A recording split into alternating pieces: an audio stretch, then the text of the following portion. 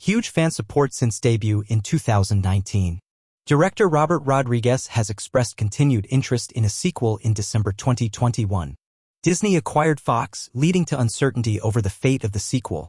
Christoph Waltz and Rosa Salazar expressed uncertainty and hope for a sequel.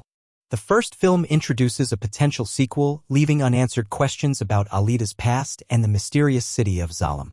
Rodriguez and James Cameron had plans for a sequel, including a full story arc. Cameron provided extensive notes for a potential trilogy.